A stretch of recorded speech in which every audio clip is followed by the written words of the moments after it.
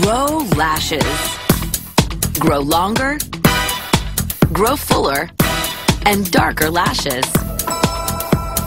Grow? How's that possible? I'm using Latisse, the first and only FDA approved prescription treatment for inadequate or not enough lashes. Applied nightly as instructed by your doctor, Latisse grows lashes in as little as eight weeks with full results in 12 to 16. If you are using prescription products for lowering eye pressure or have a history of eye pressure problems, only use Latisse under close doctor care. May cause eyelid skin darkening, which may be reversible, and there is potential for increased brown iris pigmentation, which is likely permanent. If you develop or experience any eye problems or have eye surgery, consult your doctor immediately. Common side effects include itchy eyes and eye redness. Grow longer, fuller, darker lashes. Ask your doctor if Latisse is right for you. Find a doctor at Latisse.com today.